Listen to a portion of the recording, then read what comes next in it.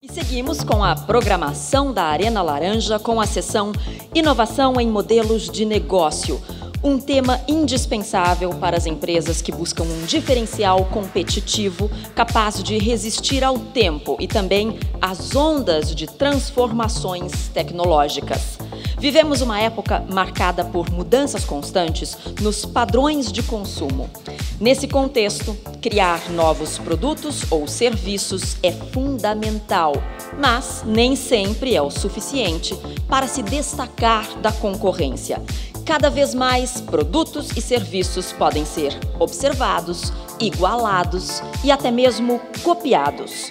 Daí a importância de inovar em modelos de negócios, isto é, no conjunto de propostas e estratégias que orientam o funcionamento de uma empresa. Modelos de negócios muito rígidos podem criar resistências indesejáveis à mudança. Já os modelos de negócios inovadores vão na direção contrária. Eles estimulam a transformação do negócio, mudam os padrões de decisões, abrem caminhos de atuação e criam novas perspectivas de mercado. Nesta sessão, nós conheceremos alguns caminhos para a construção de modelos de negócios inovadores. Vamos descobrir como as empresas podem redesenhar suas estruturas internas sem deixar de administrar os riscos inevitáveis da transformação. Os debatedores serão Ahmad Tajuddin Ali, CEO do WEM Group Berhard, Felipe Monteiro, professor da INSEAD, e Samuel Bottom, vice-presidente e diretor de marketing da Snap-on. Para começar, nós passamos a palavra a Luiz Melo, gerente executivo de tecnologia e inovação da Vale, que será o moderador deste debate. Boa tarde, Luiz. A palavra é sua. Boa tarde, todo mundo. Eu vou, a partir de agora, falar em inglês para nossos painelistas poderem acompanhar, já que do lado de cá a gente não tem o headset para fazer a sessão.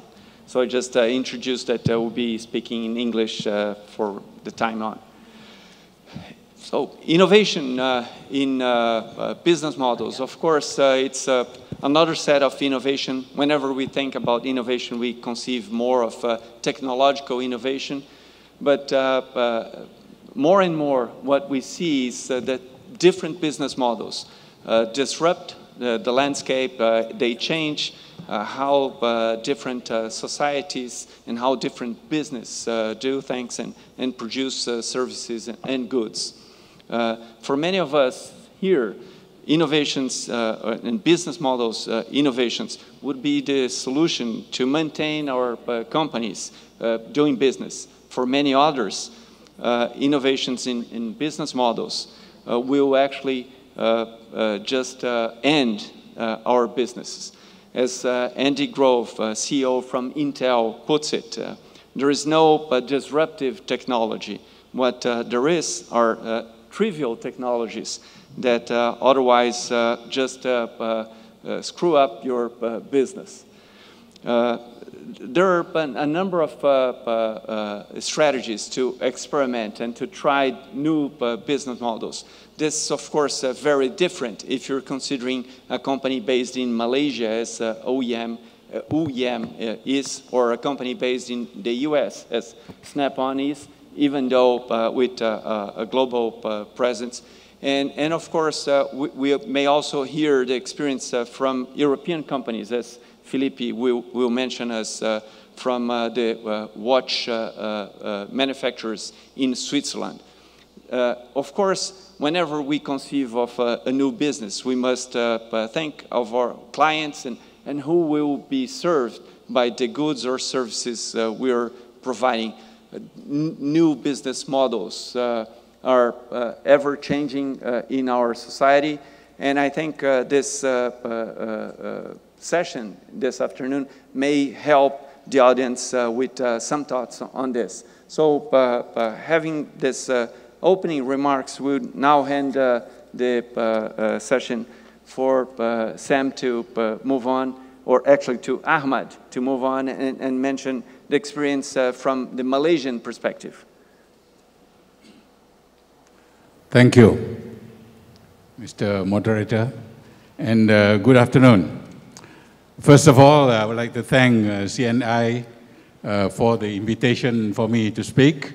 Uh, I know I come from a long way away. It took me 33 hours from door to door uh, to arrive here last night, but uh, I'm okay. It's only now 2 a.m. in Malaysia. So, by way of introduction, uh, I am an engineer by training. Uh, previously, I've been uh, the CEO of uh, the Government uh, Research Institute uh, for Industry and Standards. in the US, would be the equivalent of NIST and ANSI, the American National Standards Institute, put together. But of course, ours is a very small organization. But then in uh, 1996, all of a sudden we have a national blackout.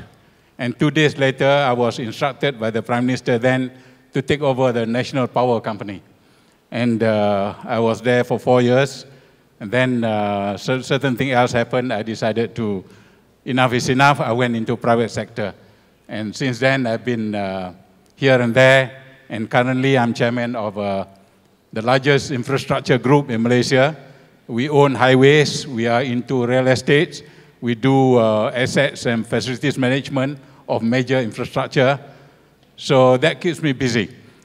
And uh, looking at the topic that is given to us today, I must congratulate uh, Brazil for the formation, or, or CNI for that matter, uh, for the introduction of this uh, mobilization of uh, entrepreneurs, the MEI, which I think is, uh, is a very nice um, activity in order to get innovation, particularly at the enterprise level, going.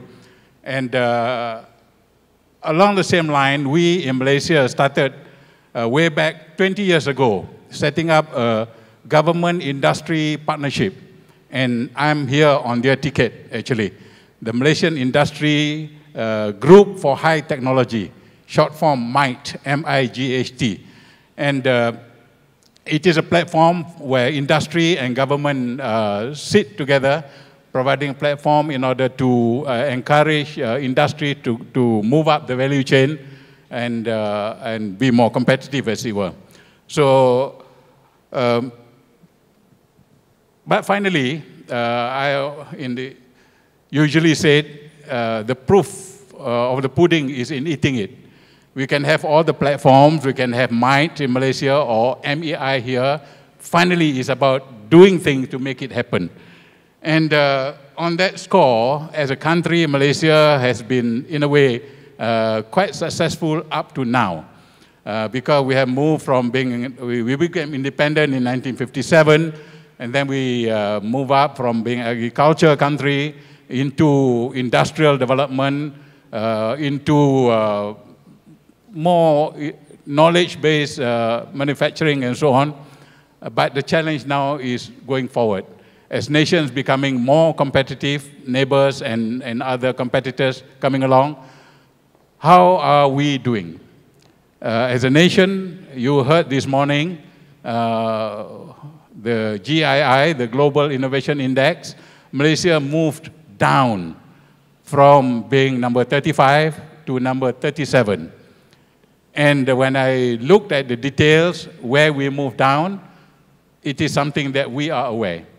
And that is about talent, about uh, investment in R&D. And this is uh, what we uh, recognize in Malaysia uh, as uh, the biggest challenge uh, especially on talent, on getting the right people with knowledge, and to move up the value chain to be more competitive. Uh, the lack of interest among the youngsters today to take up science and engineering is worrying. It is not a Malaysian trend alone, it's a global trend. Uh, the uh, fact that uh, mobility today can work both ways. If you have the good environment uh, for attracting talent from overseas, they will come. But if the environment is no good, even your own talent will move out. So, and this is happening. We have a lot of uh, people, in a way, uh, seeking for better opportunities for their career and so on, going overseas as opposed to uh, being at home. Uh, we do attract talent from some of the lower cost countries because uh, relativity-wise, they are better off coming to Malaysia. But uh, our own Malaysians tend to see that maybe Australia or Canada or the UK or United States offer them better opportunities. So as a nation, that's the challenge going, going uh, forward. At a firm level, I am, as mentioned, in charge of, a, uh, at the moment, chairman of an infrastructure group, a very old economy uh, business. But even that, that company, our company, is facing the challenges how to stay, uh, well, ahead of competitors. At the same time, I do hold other positions, uh, including the, being the chairman of the Construction Industry Development Board. Here is about innovate, uh, encouraging companies to move up uh, into IBS, the industrialized building systems, uh, to more higher productivity uh, uh, sector of the construction sector, which is tough.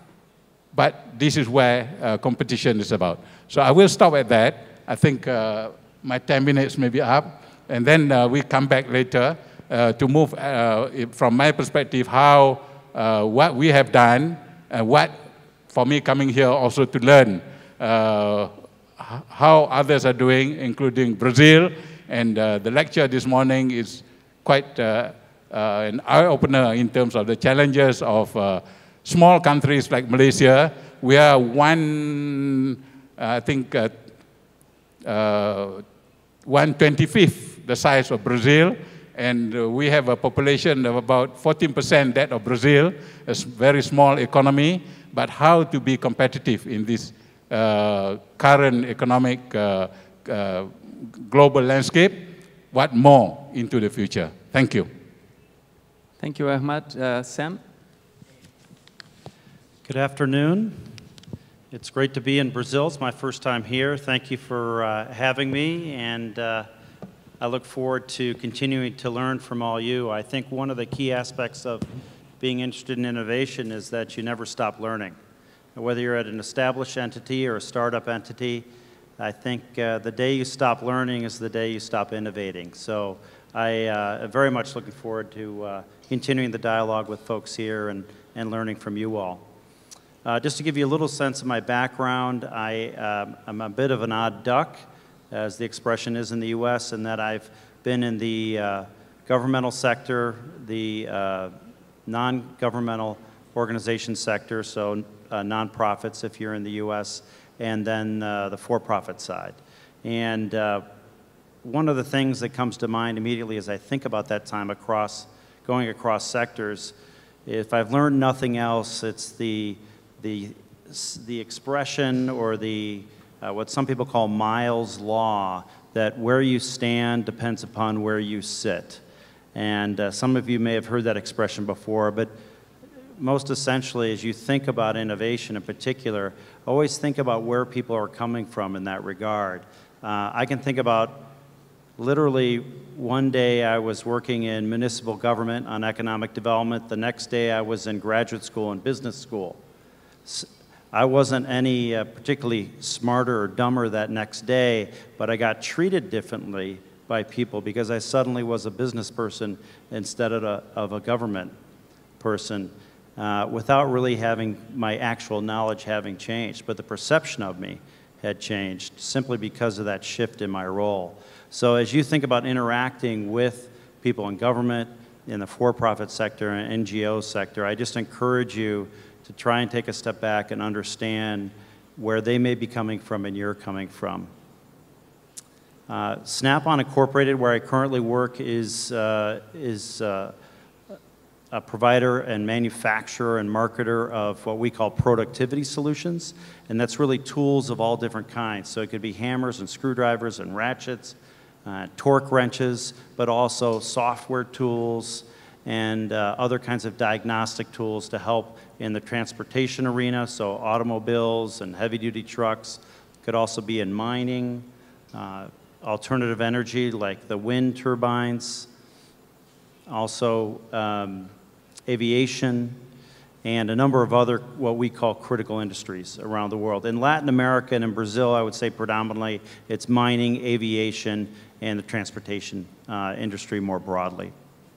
And I'm happy to talk more about that later on if people are interested in that. Uh, I would offer you a, a, few thoughts generally, and I guess I'm speaking more from a, a, cultural and attitudinal standpoint as we think about business models. And I know we'll get into this more. As, as I think you heard from some of the other speakers earlier this morning, innovation is anything but linear. In fact, it's very, very messy, as many of you know. It's not black and white. It often offends your senses and your sensibilities. And if you're not uncomfortable in some way with the innovation work you're doing, then probably you're not doing it well. And that's one of the hardest things to come to grips with, I think, if you're focused on innovation. It's part art and it's part science. And people always want to make it science and linear and black and white and understandable uh, with models and whatnot. And I think those tools are important when getting our arms around innovation, but you have to keep in mind the limitations of those models, especially if those models are built on the past and the current and not the future. So as you think about the art and science of innovation, I'd offer three thoughts. One is collaboration and how critical that is. So if you're thinking about across sectors, like I was speaking to earlier, I think that's absolutely a key ingredient in innovation. But equally important is thinking across functions. Uh, as many of you have probably experienced, uh, and again, thinking about Miles' law of where you stand depends upon where you sit. If you're in engineering versus marketing versus market research versus any number of other functions, in an organization. It's very easy to, to decide that you only want your function involved or maybe one or two other functions involved because you can be faster and more efficient and you speak the same language more. But the downside is you lose out on that broader mix of perspectives on an innovation project that you may be taking on. So collaboration across sectors and across functions, I would highly encourage. Second is being customer centric. And often this may seem obvious, but it's difficult to, I think you, one has to have discipline. Individually and the organization has to have discipline to stay customer centric. Because often the customer's perspective is not convenient to your point of view or it, it, it, it, causes you to take actions that may slow down your launch or your refinements. And when you're in a business trying to be efficient and trying to get something out the door, it's the last thing often you want to deal with. But if you're really being honest with yourself, uh, you may need to adjust what your product is about or your business model is about if you're really going to serve the customer well. So always keeping the customer's needs in mind, absolutely critical. Lastly, I would say to you, failure. Failure is something that we often don't deal well with in innovation.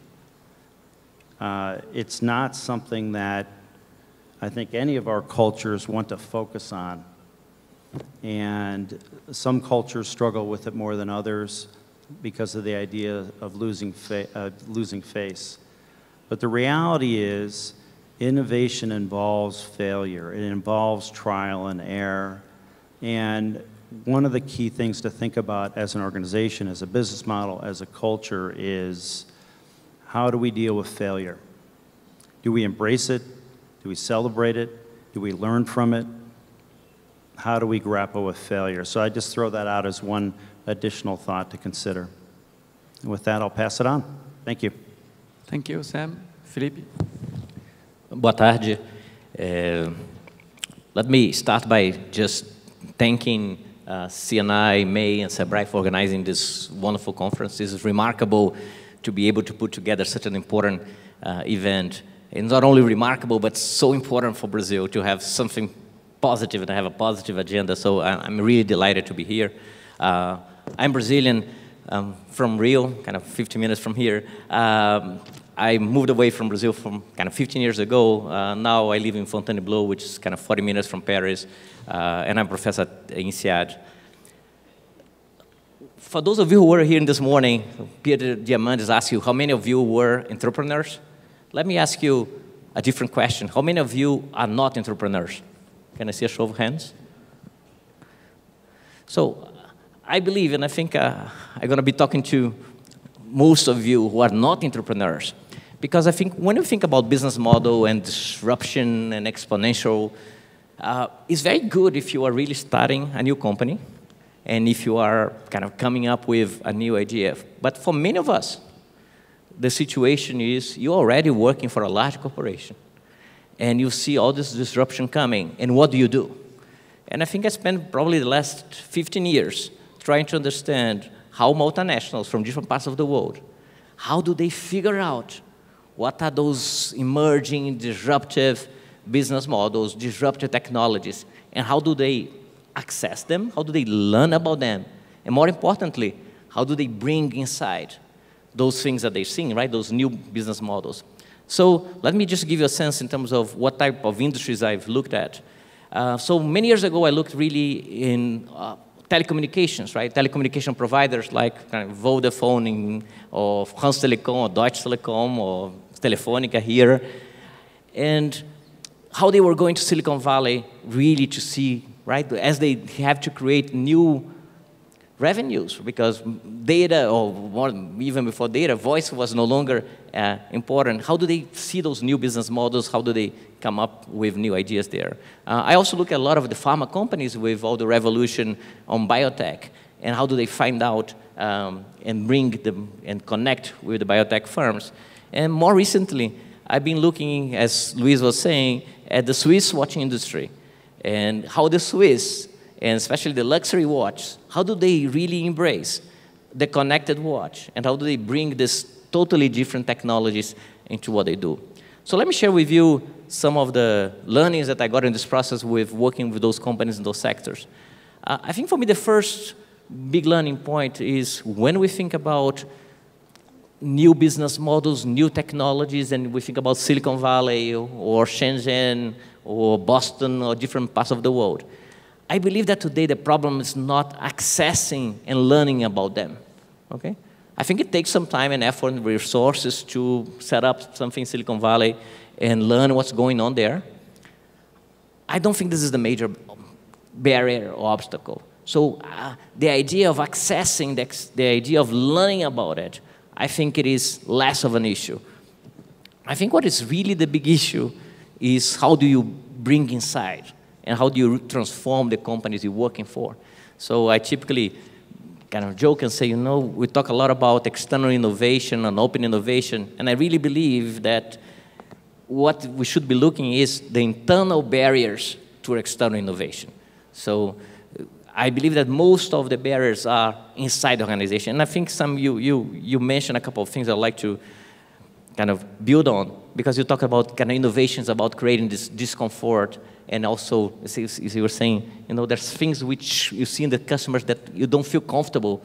Uh, and I, I, believe a lot of the challenges about accessing and integrating new business models is how do you deal with business models that are, I call dissonant, right? That they create some cognitive dissonance within the organization.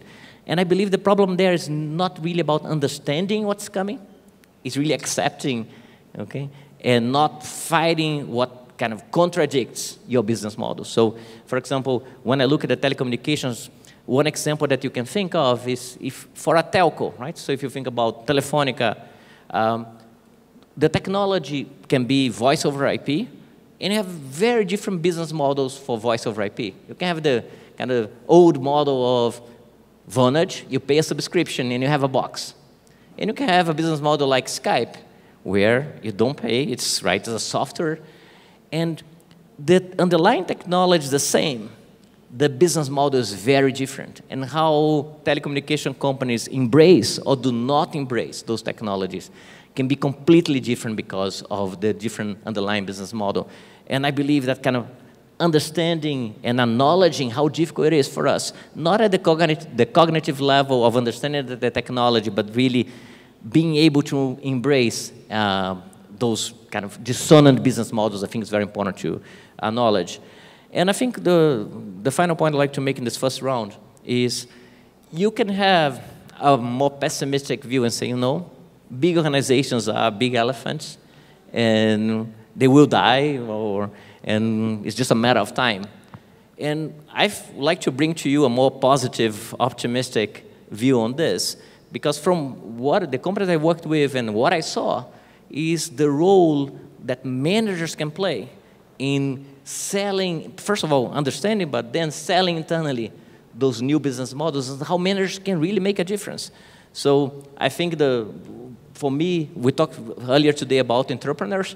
I think that we should be very encouraged and also kind of promote the corporate entrepreneurs, right? People within the large organizations who are going to understand, bring, and sell those ideas internally. So I think, uh, on the one hand, I think it's beautiful to see, right? And I think yesterday we saw all, a number of new companies coming up with new models, et cetera, et cetera. And I think they, this is very healthy and good for, for Brazil.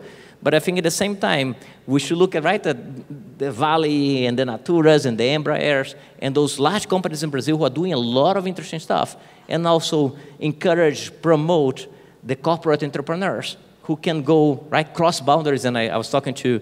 Uh, Luiz, because I think the expression in English for this type of managers is boundary spanners, people who span boundaries.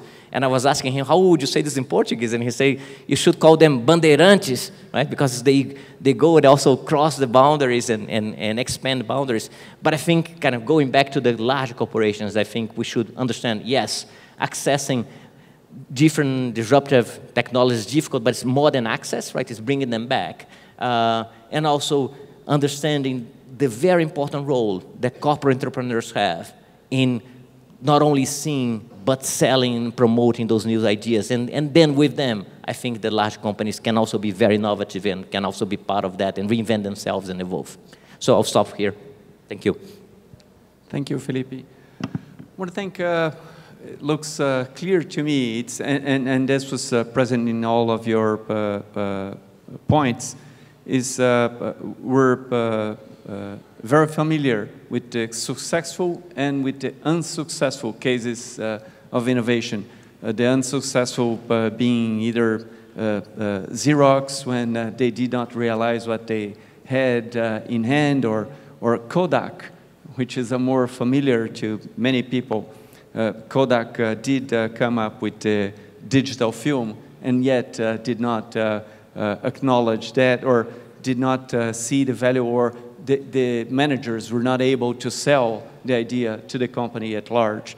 And, and so we have a number of examples in which innovation uh, was uh, developed inside a large organization, and yet the organization uh, could not see uh, how to uh, uh, move on and, and to incorporate that inside a company. And yet, to the other side, Epson, for instance, which was well known at uh, a given side of the market on uh, uh, making photocopies of documents and, and, was able to shift and, and to both have a strong business in the inkjet printing as well as on laser printing, which are very competitive in terms of their nature, and yet uh, the company was able to, to incorporate uh, that uh, development inside a, a, a different uh, uh, structure, organizational structure. But so with that, uh, I would like to go back to Ahmad and, and ask in which ways Malaysia and UEM uh, are innovating in, in, business models. And uh, can you give us examples? And more importantly, tell us about uh, failed attempts for innovating for both UEM and, and Malaysia and because, of course, uh, both Malaysia and Brazil being developing nations, uh, we, we may share uh, a, a, number of similarities which may be relevant for the current uh, audience. Thank you. Um, yes, um, as I mentioned earlier, uh, we have been well, acknowledged uh, in some ways as, among the dragons of the East. Uh, but this is, I would say, up to now. Yeah? Uh, we have been uh, able to reduce uh, the poverty rate of the country uh, from somewhere in the 30 to 50 percent, depending whether it is rural or urban from that range in when we became independent way back in uh, 50 years ago now, uh, to now less than well, about 1% uh, by, by uh, uh, you know, uh, global definition of, of poverty. so the poverty rate has, has come down. So in a way that has been successful. we have moved up in terms of our GDP and over the last 15 years, for example, our, our uh, compounded uh, growth rate has been in about 6 to 8 percent, which is commendable. Currently, is standing about 4.5 percent GDP growth rate per annum. So compared to many, many economies, that is very good. Yeah? But uh, uh, in the context of uh, where we are, we, have, we have not what we used to experience, double-digit growth. You know? Uh, but uh, four and a half, five percent compared to one or two, or even negative growth in many countries, is still uh, commendable. But as I said, it's up to now. Going forward, to me, as a nation, uh, the challenge is much bigger.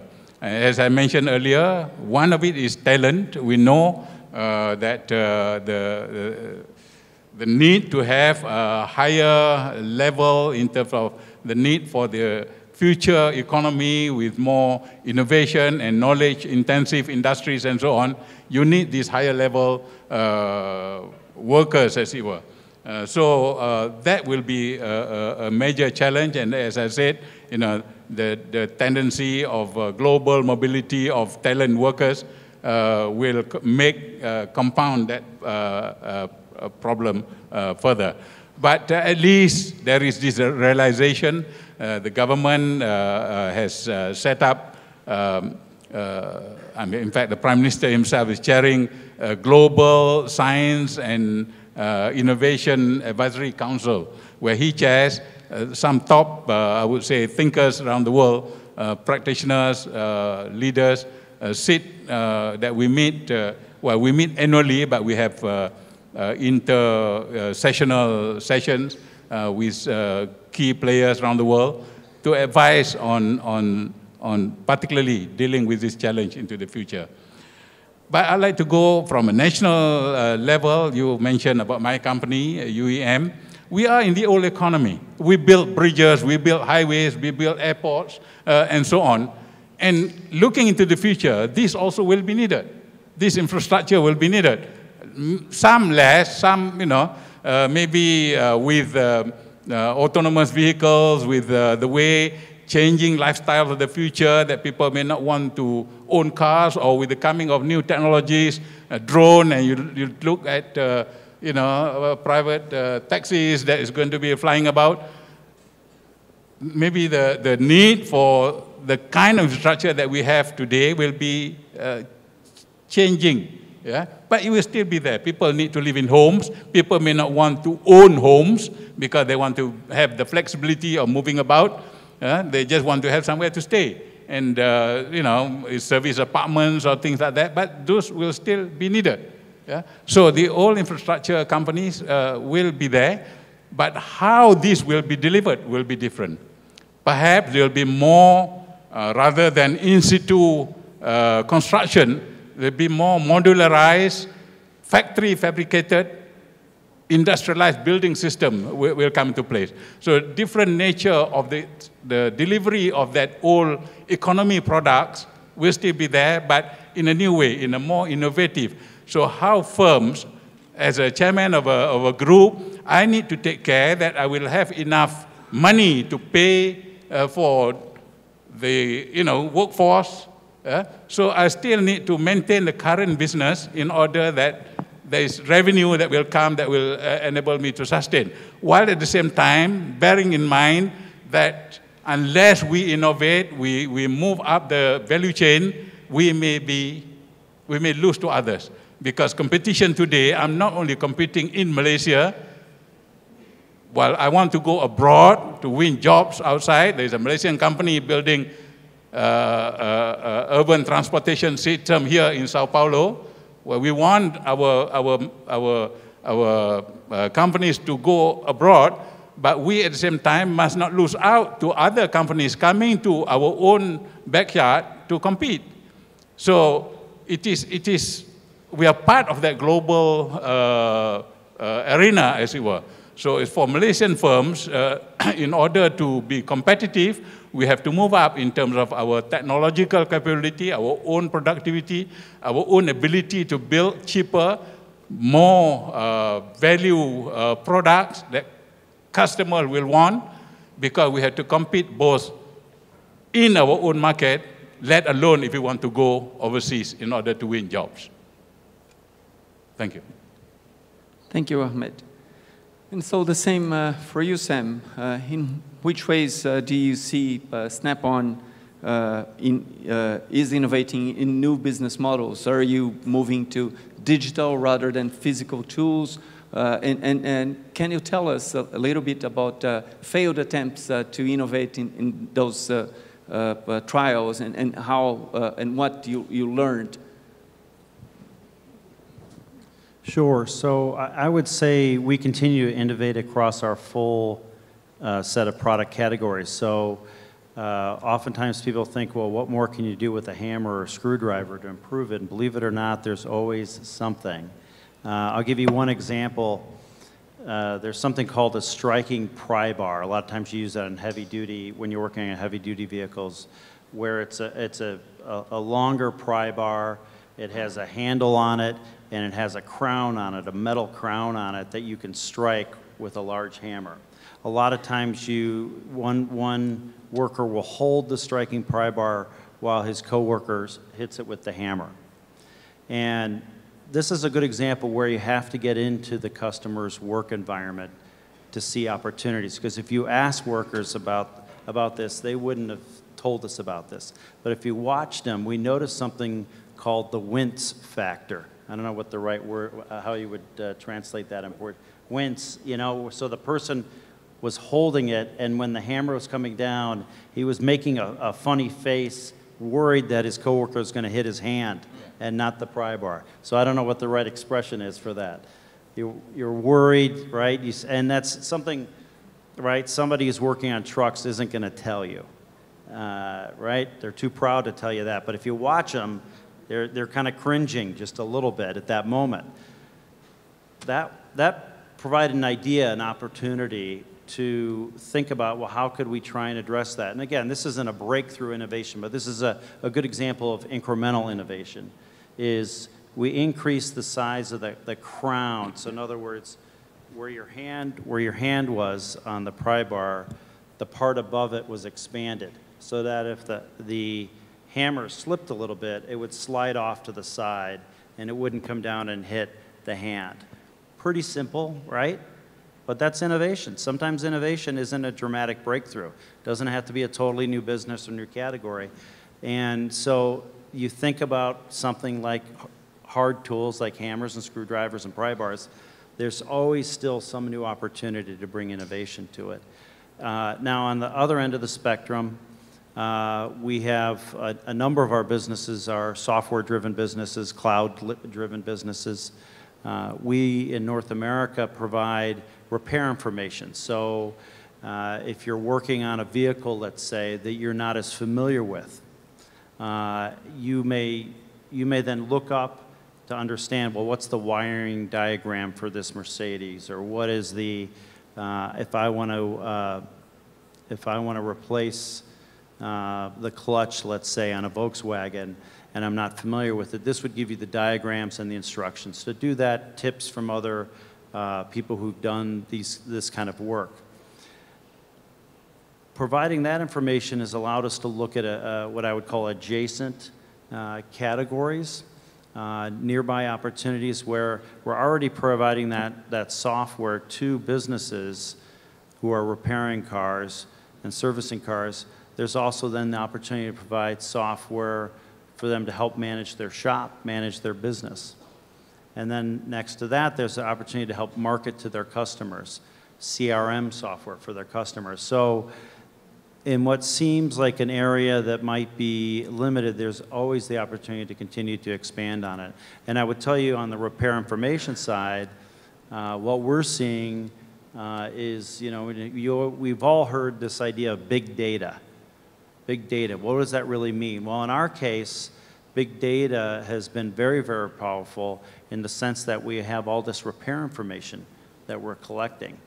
Uh, and we can tap that repair information for uh, better solutions, uh, tips for people to repair vehicles that much faster. For example, we can tell you if somebody has certain symptoms with their, with their vehicle, certain signs of trouble with their vehicle, uh, what most likely is the part that's causing the problem. And we can show you with diagrams and whatnot, 80% of the time if they're having X problem, then Y part is, is the, uh, probably the problem. So it gets you to the solution faster. So that would be an example of some, some different, uh, some different areas where we've innovated. Now, as far as where we've fallen short, where we failed, um, I'll give you two, two examples. First example, uh, much more simple, is we have something called a low profile ratchet. And uh, ratchet, for those of you don't know, is just for loosening and tightening fasteners. Uh, and one of the most difficult challenges when you're repairing uh, vehicles is accessibility, getting to fasteners that are in odd places. Because often companies design their engines and other parts to be manufactured. They don't always design them to be repaired.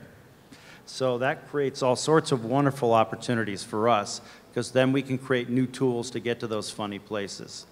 So the low profile ratchet, and this comes back to the whole idea of being customer centric.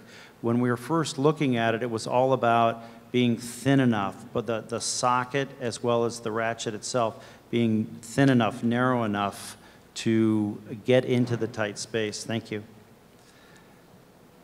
The problem was as that project went on, the engineers involved with it were more concerned about the strength of it and, and if it's we're going to be more narrow if it's going to be smaller if it's going to be thinner aren't people going to be worried about the strength of it so then when it was launched and brought to market the marketing messages were all related to strength and the reality was i mean that product wasn't a failure but it was the messaging was off target and we realized the original insight the original idea and what people wanted was something that had to do with accessibility, that was low profile.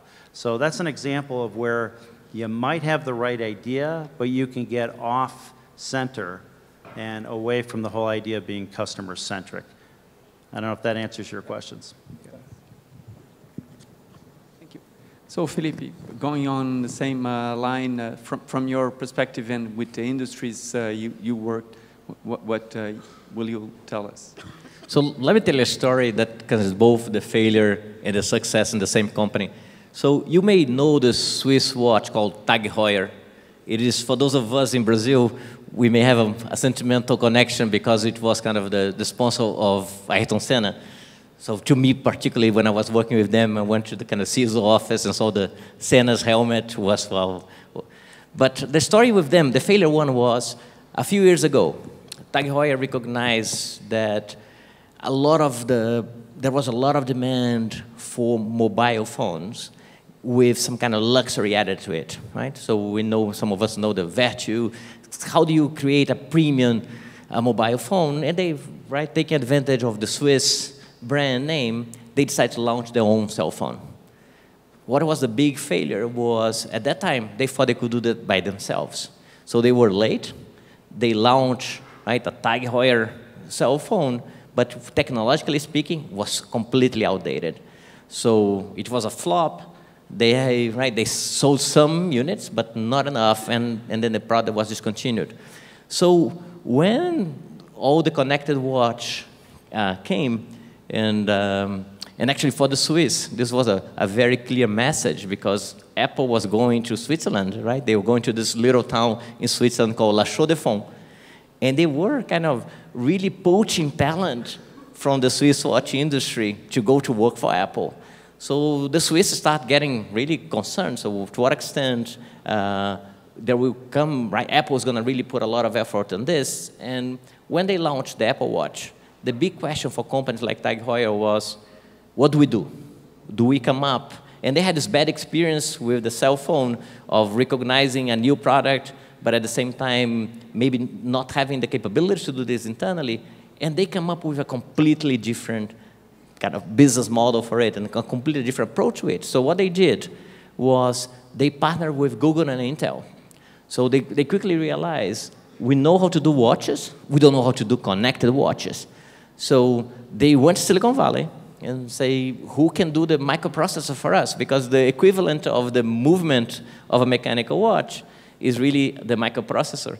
So they partner with Intel, and at the same time, they say, but which kind of apps are we going to have? Because are we going to develop, and we're going to go to EPFL or to ETH in, in, Switzerland and develop our own apps? Or who's, who's developing the, the language? How are we going to do this? And they end up partnering with Google. So in Switzerland, it was a major issue and I think going back to the challenges of big corporations, in this case, maybe backing also to the country challenge, is imagine if you are in a country that you have the reputation of manufacturing the best watches in the world, to what extent you reach out to another cluster and say, you know, yes, we are the best kind of country to develop and to manufacture movement watches, but for connected watches, really the center of gravity in terms of where the technology is is not here.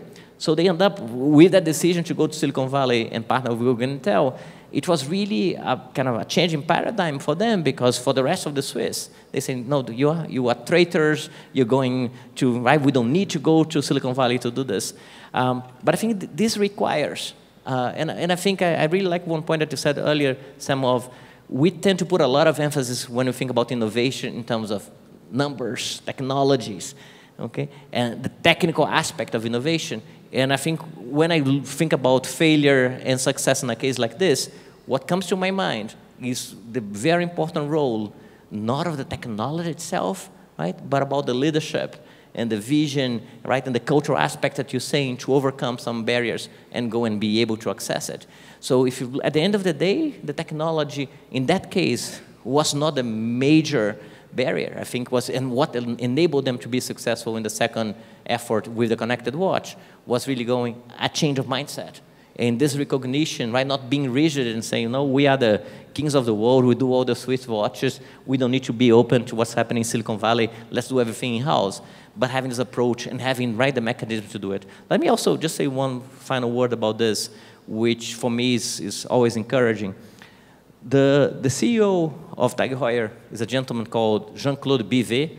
Uh, his last name is B-I-V-E-R. So for those of you who don't know him, just Google.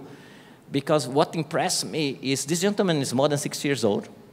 He was one of the responsible for the reinvention of this watching industry during the quartz crisis 30 years ago. And is this gentleman of 63 years old who is revolutionizing the watching industry in Switzerland. Okay, uh, so I think this should be an right an encouraging message for many of us who are right not the millennials of how right it is much more on the right on the mindset, on the ability, on the leadership, on the inspiration of people, rather than just think you know it is, it is in the air, it's a technology, is something technical that's going to make a change. So I'm not kind of underestimating the importance of all the technical aspects of it, but I think in that dialogue that we tend to put a lot of emphasis on technology, I think it's very important for us. And I think I also understand my bias, right? I'm a professor in a business school, so the, the people I'm interacting with are typically kind of business leaders is the amazing role that people can make and also the amazing role also of right, not thinking only about the millennials, but uh, very seasoned executives of how do they change the mindsets, how they inspire people to, to change the mindsets. And I think this case really illustrates how one country, right, and how companies in one country can reach out to another cluster, work together, this collaboration that we were talking before. Thank you, Felipe. So actually, uh, what uh, was uh, brought uh, by many of you, and, and uh, I, I, think uh, more recently by, by Felipe, is this uh, topic of uh, cognitive dissonance, which is uh, an interesting concept. Uh, it is as when you're going to buy a car and you haven't buy anyone, you haven't bought any car yet. Actually, you, you look at many different manufacturers. You look at, let's say, Volkswagen or Ford or Chery or whatever. You look at many after you purchase your car, you actually don't look at many ads. You don't want to know you did a bad hmm. business.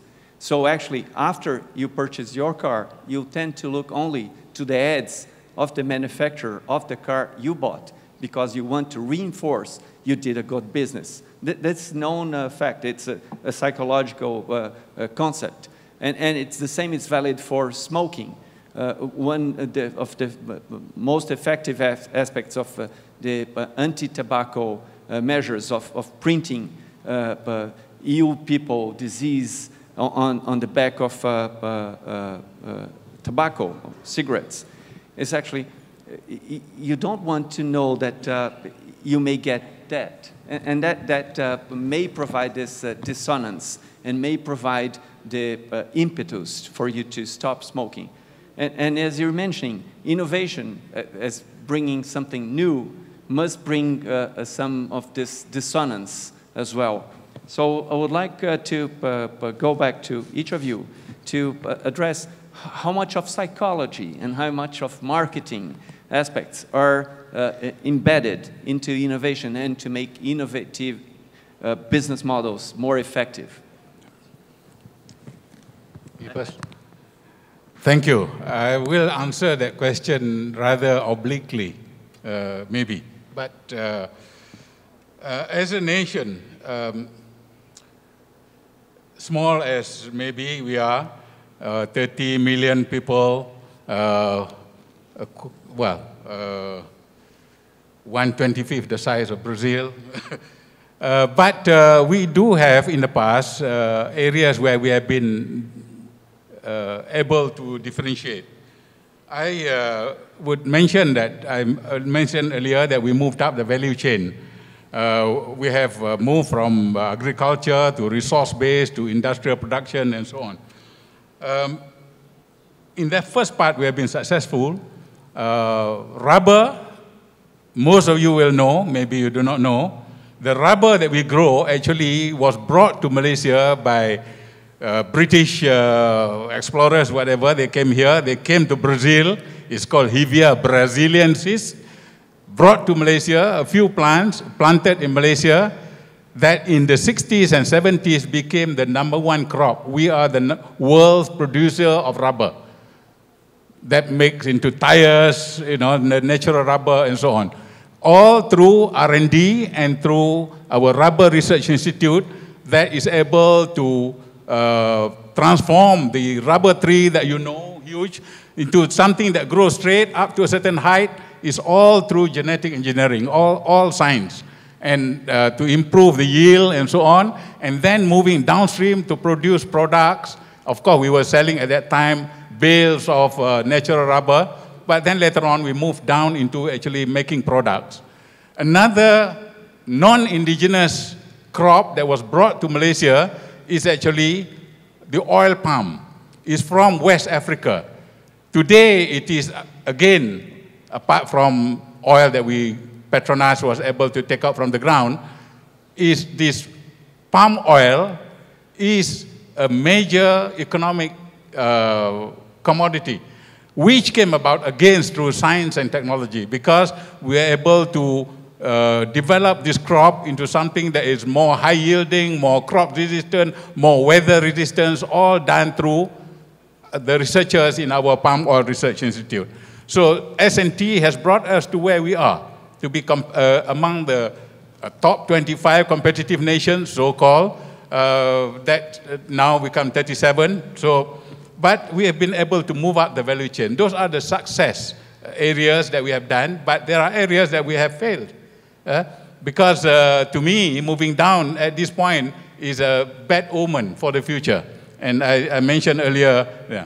but we did not produce the right ecosystem for some of the new technologies. The thumb drive that we now use as a, was actually uh, invented by an inventor from Malaysia.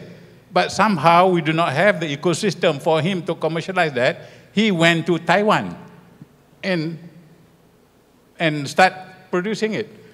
The same with Grab Taxi, the Uber, is, is a Malaysian, uh, is, is, is produced by, or is dreamed up by a, a Malaysian entrepreneur. Again, the, the, the ecosystem may not be, uh, you know, conducive, whatever. He went to Singapore, and it is, it is uh, acknowledged as a Singapore, uh, you know, uh, product. But in actual fact, the inventor is Malaysian. So the nation must have the right ecosystem for this, uh, uh, you know, new, new economy, uh, you know, startups and so on uh, to be able to be successful. So it, realizing that uh, we have, um, well, again, uh, government, I hope, you know, is a facilitator, is the enabler, have realized this and through, I came here partly to market uh, the event that we're going to hold in Malaysia. Uh, our equivalent of this event here on November 28th to 30th, together with the Global Federation of Competitiveness Council, GFCC, which is also part of the organizer here. Uh, we are, they, are, they are coming to Malaysia to have the annual uh, meeting of the GFCC the Global Federation of Competitiveness Council. We are going to host that meeting, but we're going to have our own Global Innovation Summit, uh, themed uh, sustainability, the future of uh, uh production, the future of consumption, and the future of work uh, as a, as a theme. Uh, and and you're all invited to come to Malaysia to see maybe a rubber tree that you have not seen before uh, that, that has been engineered to be to grow to a certain size, to a certain height before it starts branching and so on, all through genetic engineering. We still have these uh, rubber uh, plantations, but we are no longer the number one producer of rubber because we, we have to move on. Our, one of the uh, uh, negative factors about Malaysia today is that we cannot go on to be, we are no more the low cost producer. Uh, we, uh, at the moment, uh, out of a workforce of about 15 million, we have somewhere between 2 to 3 million foreign workers coming mainly from Vietnam, from Indonesia, from the Philippines, from other countries nearby that they look to Malaysia to be where they can earn a little bit more than in their own country. So we have all our plantation, all our construction sites. Without these foreign workers, they always shut down. So we need them as much as they need us. So, uh, but the future is about moving up this value chain, and I think uh, uh, at a firm level to, uh, to innovate in order for you to stay ahead uh, of competition and all put together become where nations can compete. Because the competitiveness of nations finally depends on the industry and the, at the firm level. So that's the challenge. I don't know whether I answered your question, but I wanted to advertise our Innovation Summit in, uh, in November at the same time. Thank you, Ahmad. Sam? If you'll indulge me, I'd like to try a little experiment, an audience participation experiment. If we could turn up the house lights. I don't know if this will work or not, but I'll give it a quick try. Can we turn up the house lights? Turn on, turn up. Poderia acender a luz, por favor. Ah, thank you. So, and forgive me if my language is a little off here. I this, we'll see if this works. But if, if all of you, uh, do, you, do you say kindergarten? Yeah. If you thought you were creative in your kindergarten, could you please stand? Just stand up if you thought you were creative in kindergarten. Remember way back then, you're drawing, you're painting.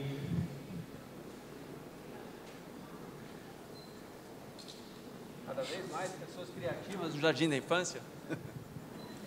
So, does the question make sense? Yeah. Yeah? Okay. Now, though, stay standing. please.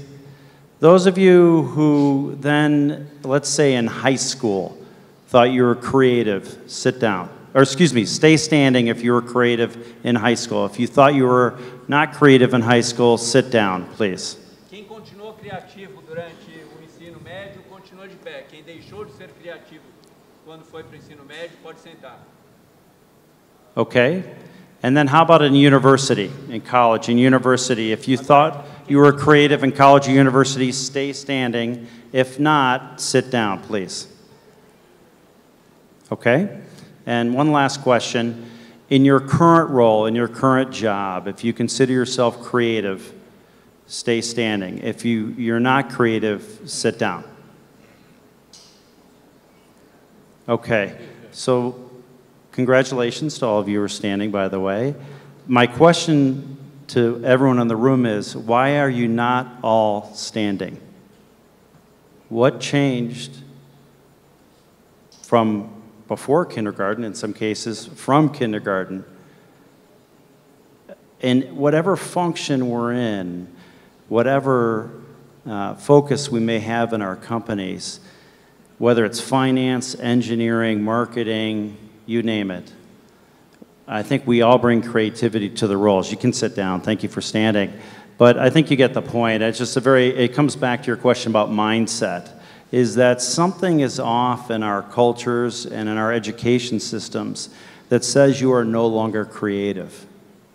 And we tend to narrow the definition to somebody who's in a creative function, like that somehow art related or design related, uh, graphic design related. Um, and that's clearly one area of opportunity for improvement that I think we have to work on. It's not unique to Brazil, it's not unique to the US. I think it's uh, international and it's a challenge. And as we think about the education systems and the professional training uh, systems that we, we do around the world, I think we all have to try and continue to nurture and encourage the creativity that leads to the type of innovation across all the functional areas and across business models. Thanks, Sam. Felipe? so let me go back to your point about cognitive dissonance. And you give the example of you buying a car and, or the cigarette, and you don't want to see information that disconfirms what you believe. And I think a very classic experiment is also you ask people. So if I ask you, how many of you believe that the central bank is going to increase interest rates? And let's say that you, know, you say yes, then I show you 50% of articles that say yes, 50% of articles that say no, and you see more articles that confirm what you said before. Okay, very well established experiment. You can do this with groups; they also behave. it. So I think the first thing, how do you do? And your question was, to what extent innovation is about mindset, is about psychology, is about. I think the first thing when we know about those biases, the first thing we should know is acknowledge them. Okay, is is our human nature to have those biases? Uh, and I think the first thing we should be aware is if you are mindful, you say, you know, I am more likely to reject things that are going to contradict what I believe. I, right, you start to calibrate and start to create mechanisms to say, you know, am I really seeing what I should be seeing or I'm only seeing what I want to see? Okay, so I think the, the first mm, point to me is really on understanding that this happens, acknowledging it, and trying to right? There's nothing you can do, not, it's human, okay? You have those biases.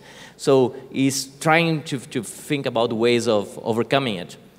I think the second question, to me, I mean, a related question to me, and I'll, I'll go back to our morning discussion. I mean, I, think, uh, um, right, Peter Diamandis' presentation was superb.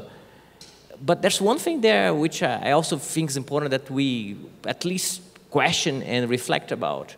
So to what extent innovation will really be those robots and artificial intelligence and what's the, what's the role of humans, right? And what's the role of managers and top managers and executives and leaders?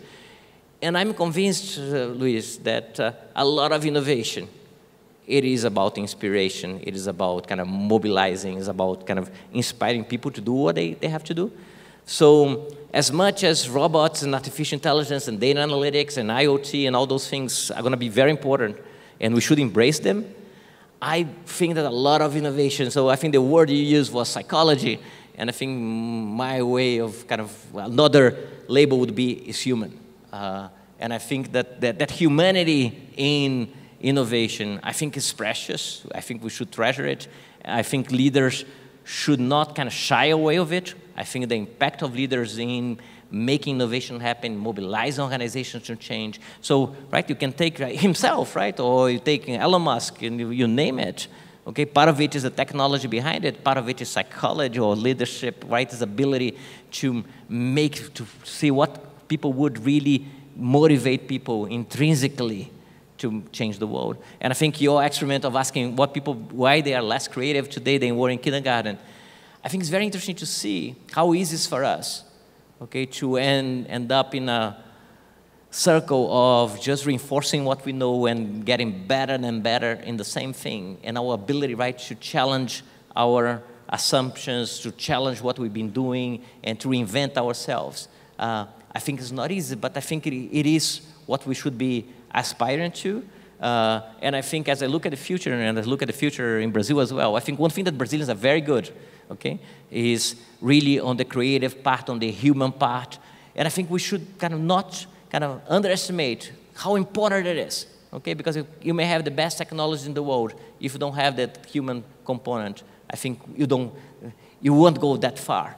So, um, so I think it's as many things in life, right? So the, the typical uh, challenge is how do you balance those things? Uh, how do you mix those things?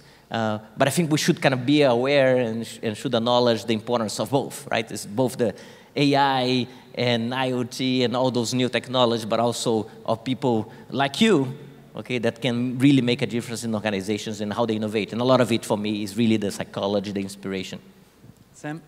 Was, yeah, just offer a build to that. I uh, couldn't agree with you more. You know, as we think about business models, I think one thing we should consider is the education models we currently have. And uh, with all due respect to my academic colleagues up here, and obviously you have your own views on this, if you think about our education systems, this is definitely true in the United States, and I know it's true in a lot of other countries. I'm no expert on the Brazilian education system, but if you think about the systems, they were set up uh, more than a century ago. And, and while there have been experiments at the margins to change them, and, and I think successful experiments on, in a number of places, this, the, the systems as a whole have not evolved to address current times, let alone future times. And so whether you're thinking about the four-year college experience or advanced degrees, or whether we're talking about uh, what I would call, in the US, we'd call skilled workers, which would be people who get uh, training beyond high school, but not necessarily a four-year degree. Uh, so, so that could be an automotive mechanic, aviation technician, uh, someone who's working on uh, computer-controlled uh, systems in a manufacturing environment. Uh, the upskilling of the workforce uh, I think in all of our countries, uh, and I know it, uh, particularly in the U.S., is a big, big issue. And when you think about places where we're failing or falling short, I think that's a very critical one. And so, both from a technological knowledge standpoint and from a sort of a attitude, cultural standpoint, I think we are failing ourselves on that front. And yes, there are some examples where we're we're trying to do it and we've made progress, but we're not nearly filling the gap. So for example, quick, quick example or a quick number, there's uh, expected to be and already is 6 million jobs in manufacturing alone in the US that are going unfilled uh, in the next few years. Uh, we aren't producing nearly enough people uh, or upskilling enough of the current workforce to fill those jobs. That's going to wreak economic havoc uh, in the U.S. And unfortunately, I think that same, there's that same challenge across the world. Uh, I would like to go back to this point of uh, education and, and, bringing one aspect which is uh, not uh, that much uh, well known, I, I think, from our perspective in Brazil. of course, we all know that uh, we, we, fail in a number of aspects uh, in the Brazilian educational system, but there is this uh, one fact which is uh, not uh, that frequently mentioned, which is the rate, the illiteracy rate in Brazil. And that is currently about 8%. So 92% of the population has some reading skills, but still 8% does not have it. Uh, the figures that the US had for 8% illiteracy are from 1910. So actually Brazil, in that way, it's over 100 years behind the US in terms of illiteracy rates or in increasing its uh, uh, skills. And, and I would like to uh, uh then uh, go back to you and, and, and ask how much, of course, anyone may innovate. Uh, it, it, it, it, it's, let's say, regardless of uh, a formal education. But of course, a formal education seems uh, much more conductive for being innovative. So I would like, we have about uh, 10 minutes to, to, finish our session, and I would like you, each of you to, to expand on this. Ahmad? Yeah, um, again, uh, our own experience we have been able to uh, give uh, education more or less across the board. I think our, our literacy rate has gone down, illiteracy rate down to way, way in the low single digit, 3%, eh? yeah, 3%. So uh, uh, that, that again has been uh, successful. education is free until upper secondary. So, and, and being a small country, maybe accessibility to good uh, education system is uh, maybe easier and compared to Brazil, being a much, much bigger uh, expanse of the country. Uh, but uh, that, that to me is one of the competitive uh, weapon for the future. And as I mentioned at the moment, in our case, maybe we're not alone, but the, the lack of interest in uh, what we call the STEM education, science, technology, engineering, uh, some, some people say not engineering, uh, E is not engineering, E is English uh, and mathematics, because uh, the focus on, on, on learning of English is, is, has gone down from when we were under the British, but then now the effort is to bring it up such that the command of English by the young, uh, among the young is, is much better. But uh, the one that I would like to maybe add, what we are trying to do for the future, there is this national aspiration under the previous prime minister, two prime ministers ago, uh, he had what we call Vision 2020. Uh, and there were certain uh, targets that were put this way, way back in the 80s when he started Vision 2020. Now 2020 is only two years, three years ahead. So we are almost there. The current Prime Minister has, uh, has uh, come up with a new movement. This is not his now. He's making a people's movement, uh, TN50, uh, Transformation National 2050. the target is to increase our, our um, you know, uh, GNI per capita uh, currently standing at uh, uh in current at about 10,000 US dollars uh, per capita. Uh, the target is to move it to 15, but uh, th this was intended to be 2025. Uh, and then uh, at the same time, we have other moves in order to enhance the competitive position uh, of the nation. The target is to have by 2050 to be among the top 20. Top 20 is a target, uh, competitive uh, from a competitiveness uh, uh, uh, ranking. and and this, this is something which I think there must be that aspiration by the whole nation, embraced by everybody, that, that that's where we, we are heading. And, and to do all those things that is necessary uh, in order to enable to move up that ladder. And one of the key points that I always been saying uh, in my previous capacity as uh, president of the Academy of Sciences Malaysia, which I finished my term at the end of last year, because by law it's only two terms of three years. So I finished that. One of the greatest effort that we are trying to do is uh, to, to ensure the uh, stress or the importance of uh, education uh, from primary, from even lower, for them to be more interested in the STEM subject that I mentioned, uh, science, technology, engineering, uh, mathematics especially, uh, in, in order to prepare the necessary knowledge-based workforce of the future. Well, yeah, a, a couple thoughts I'd share. I think one of the challenges we have in North America is that we've gotten too focused on the idea of and the drumbeat of going to a four-year institution, you're getting a college degree.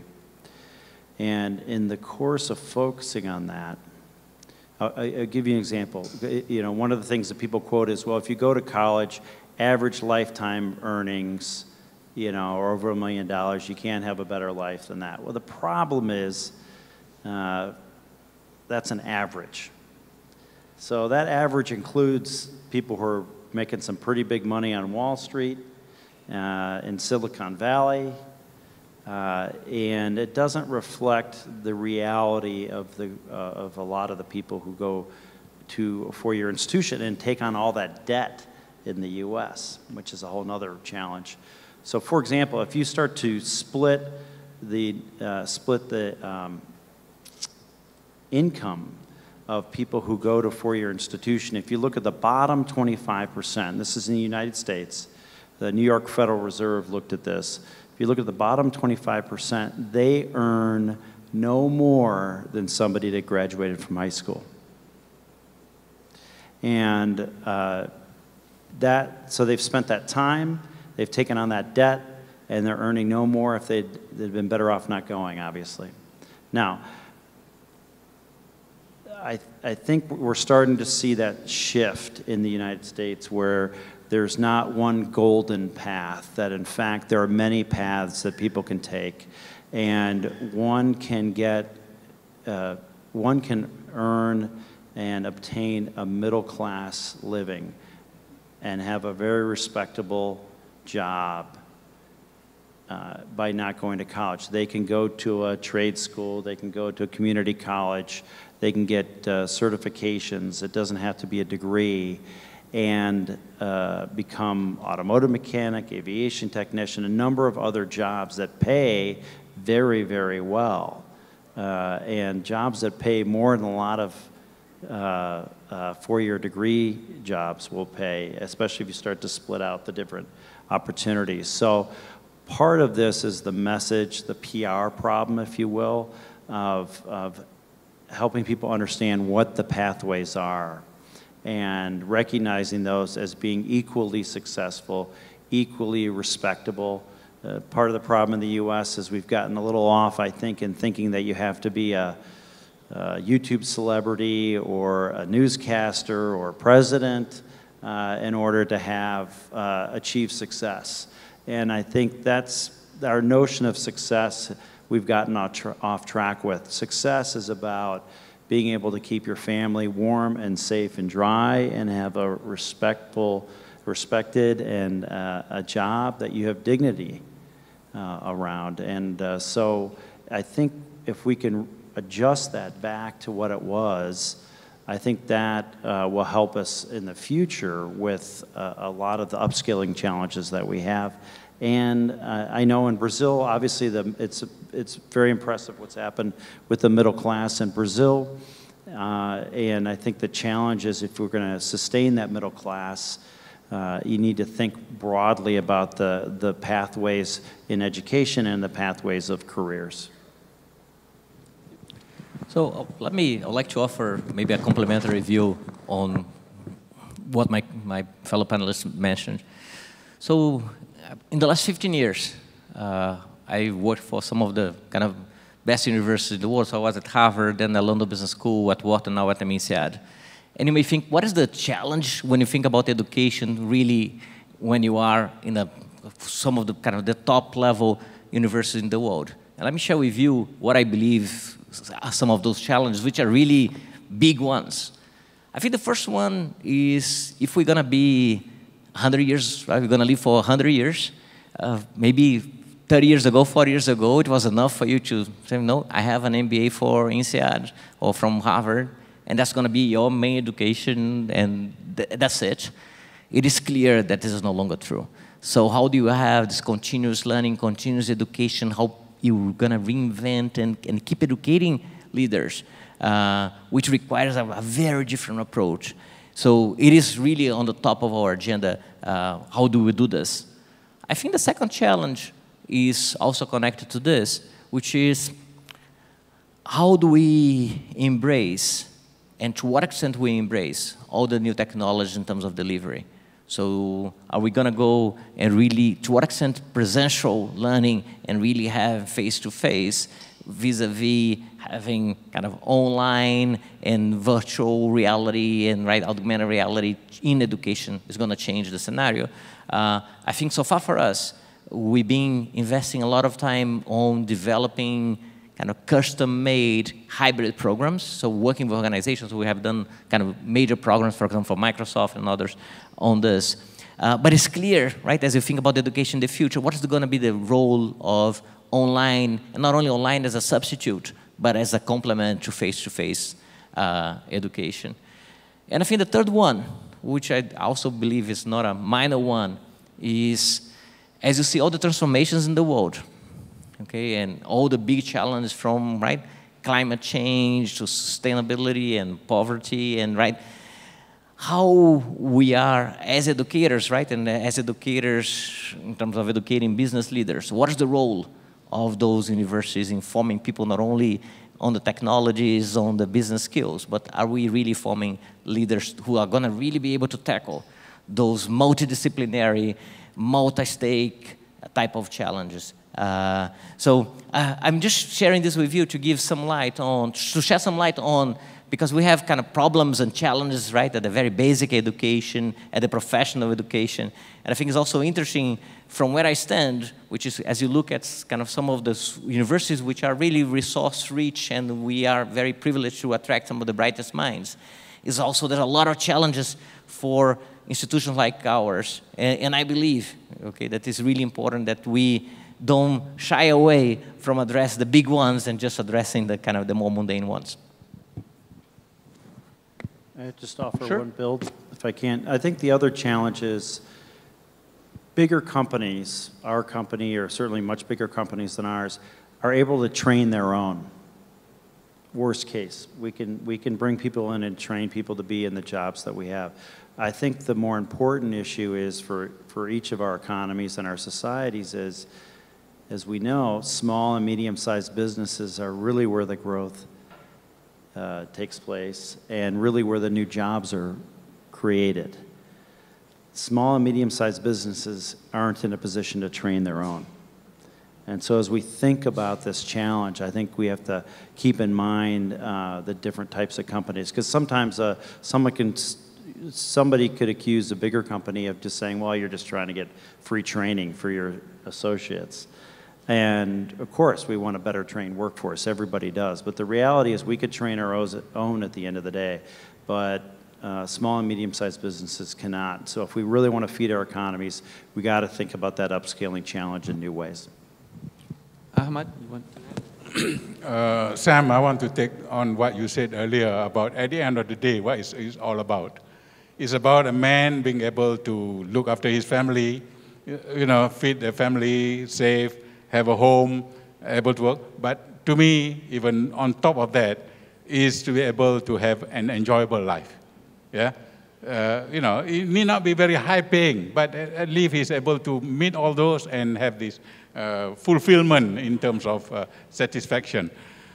Now, in, in that context, uh, when I, uh, you know, in, in my uh, capacity that I've been sort of soldiering on uh, all these years uh, in Malaysia, it is about back to education. It is about the challenge of uh, education uh, for everybody, for the young, for everybody, such that the level of literacy and education, as it were, of the general population is higher. And I would put another condition to that to say that the more scientifically literate the general population is, the better they are to be able to enjoy the life in the future. Because the life in the future, even now, today, uh, everything in the house now is technology based. Uh, whether it is a DVD or the uh, television and, and so on, very, you know, you pay a lot for it, but some, many people do not even know how to use, uh, to program, to record a, a, program in the future and so on. But this, this is something that is going to be part of life. So the more technologically, technologically literate the general population is, the better they will be able to enjoy. The challenge is how do we get the current education system to deliver that? The challenge is how do we get teachers to be able to teach to the younger ones who expect to be taught in a way that they, they, they enjoy, they like, when the teachers themselves were trained in the old technology, as it were. So that is, to me, the challenge that our education system is facing, and uh, is how to teach science, technology, mathematics to the young ones in a way that they enjoy, that they will want to learn. It goes go back to the retraining of teachers to be able to reach to the youngsters in a way that will make learning enjoyable. And I think that challenge is worldwide. Let me just build on this, just to remind ourselves also why we're here, right? Because this is a, a congress that is kind of organized by right, the Small and Medium Enterprise Association Brazil. So really on your point about the, the need to reach out to the small and uh, companies. But also, I think when you think about how do you teach in a way that the young people would really benefit from it and would enjoy, I think it's also very important that we all hear, right, that a venue like this, right, of, a forum like this is able to connect, right? Academia, business leaders, kind of public sector, small firms, large firms, because I think to me the solution doesn't reside in any of us in isolation. It is really on that dialogue and on that communication that I think we're going to make progress. And I think the second one is in a world that we see today, right? So much of kind of isolationism and protectionism and kind of and closure. I think it's very refreshing, right, to be here and to be here with such a kind of an, an international kind of crowd, really trying to learn from each other and try to share. So I think it's, it's both the learning across sector of society, small, large, academia, public, private, and also learning across the world. And, and I think this is really important. I think the, the next step will be, in my mind, kind of result of that combination rather than any nation or any sector in isolation. Yeah, one thing that uh, uh, is clear from uh, what uh, was mentioned, and we have about eight minutes, uh, uh, we're given a little bit more time. maybe the session is good, or maybe we went well on the time. and, and, there is this aspect that Sam brought, which has to do with as we age, we lose our creativity, and, and that actually comes, or should come, uh, in conjunction with uh, becoming more effective at what we do. Actually, as, as we uh, learn any language, we, we, uh, from, from uh, birth, we, we become more proficient at that language, and in the same uh, way, we, we lose capacity of spelling some specific phonemes of different languages. So actually, that's built in in our brains in, in how we learn and, and with that, actually, how we innovate. Uh, as again was uh, mentioned here, uh, when we're discussing innovation in uh, business models, there are a number of aspects uh, which uh, are to be considered, and, and as mentioned, education is one of them, the national aspects of different countries. it's another aspect.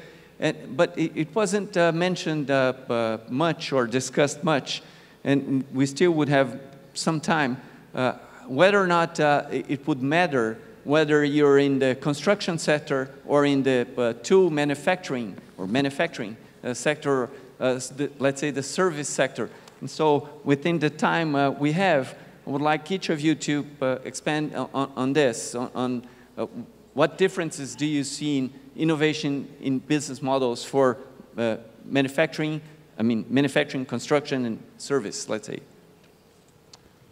For me, as I, I mentioned earlier, at my, uh, my firm and in the sector that we operate, uh, looking into the intermediate, short, intermediate, and maybe a little bit into the future, that work, that uh, service needs still to be delivered. Homes need to be built, infrastructure need to be built, airports, bridges, and so on. Yeah? But it is how we deliver that. Uh, because there will be new technologies, there will be new expectation of the customer, uh, especially in homes. Uh, they, they, they want quality, they want at the lowest possible price, and so on and so forth. Is how firms has got to, uh, will have to innovate in order to be able to the uh, expectation uh, of the customer and the need of society. Uh, so it is about incremental innovation, using technologies that's available, uh, but at the end of the day, to be able to do more with less.